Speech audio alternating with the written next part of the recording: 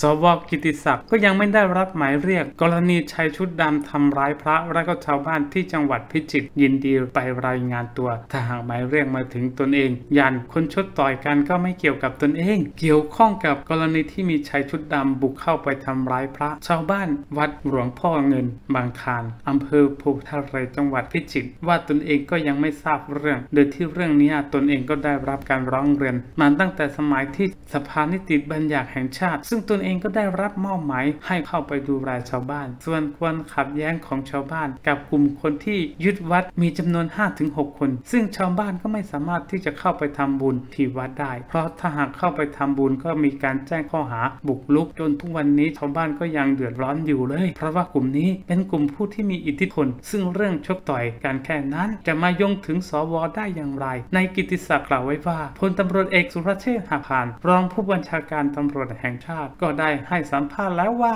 ไม่มีชายชุดดำเป็นเพียงแค่การชกต่อยกันของลูกหลานชาวบ้านเท่านั้น ซึ่งทั้งนี้จากกรณีตำรวจสอบเบื้องต้นก็ได้มีการขอออกหมายจับจริง แต่ศาลก็ให้ออกหมายเรียกโดยที่หมายเรียกดังกล่าว ตนก็ยังไม่ได้รับเห็นเพียงแค่ข่าวในโซเชียลเท่านั้น ซึ่งทั้งนี้ถ้าหากได้รับหมายเรียกเมื่อไรก็พร้อมที่จะเข้าไปรายงานตัวรับทราบข้อกล่าวหาอยู่แล้ว ตนเองเป็นฝ่ายนิติบัญญัติเคารพกฎหมายอยู่แล้วนะครับ